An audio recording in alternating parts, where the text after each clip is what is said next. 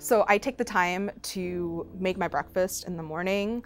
I usually will have eggs that I will add various Indian spices to to try to make it different. And I will also make some chai because that is the most comforting thing to do at any moment in time. 99% of the time, I'm walking from my place to the Whitehead Institute. I usually listen to music. It's usually one of three things. Taylor Swift, Bollywood music, and uh, this artist that I really like who's called Juanes. He is a Colombian singer who has a lot of really amazing songs.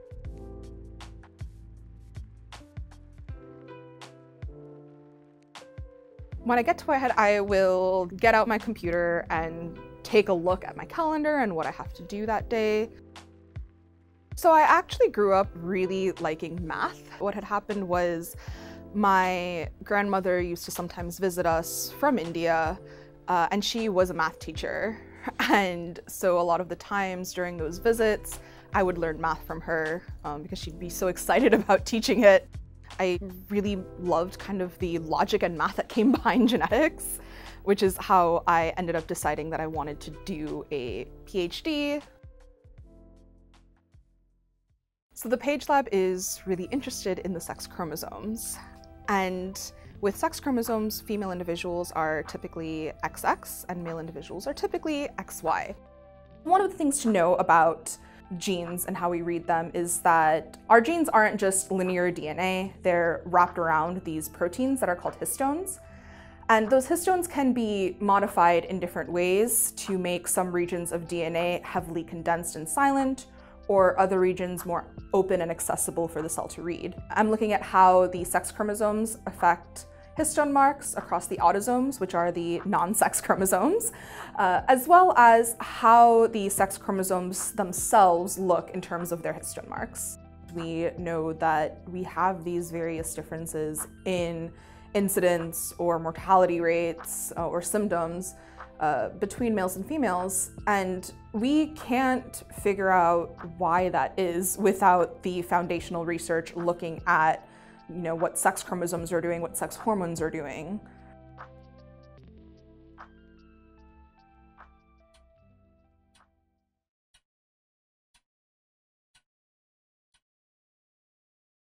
I really like being able to pursue you know, scientific curiosities that cross my mind. The cell proliferation experiment has been a question that has come up in a lot of lab meetings, uh, but it's not something anyone's ever tested, and given that I've heard the question a few times now, I felt like it was a good idea to try to answer it.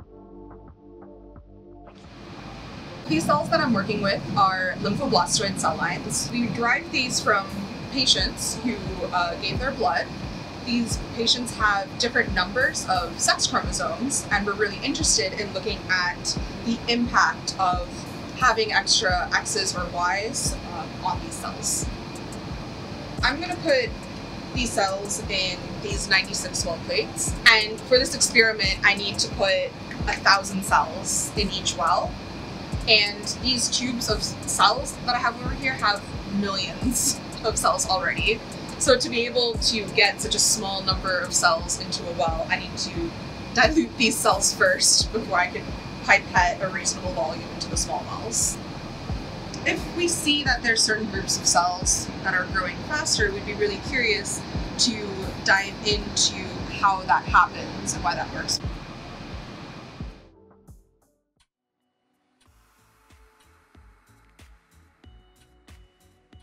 So my day after a uh, lab is over, it very much depends on the specific day of the week. On Tuesdays, for example, I will be teaching a BollyX dance fitness class at the MIT gym at the Stata Center. I will lead um, this fitness class for an hour. Bollywood music, uh, definitely something I was exposed to growing up.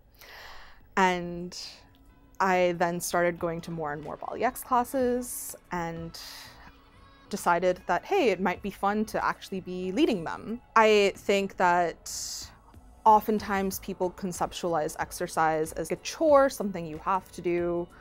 Um, BollyX was the first time I really felt like I was having fun exercising.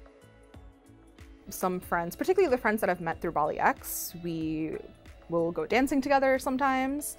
There is a club that does Bollywood nights uh, out in Boston on Fridays. Outside of science, I would say that what really matters to me is the kind of connections I have with people, with my friends and with my family, and I really value being able to spend time with them and just be able to enjoy and have fun.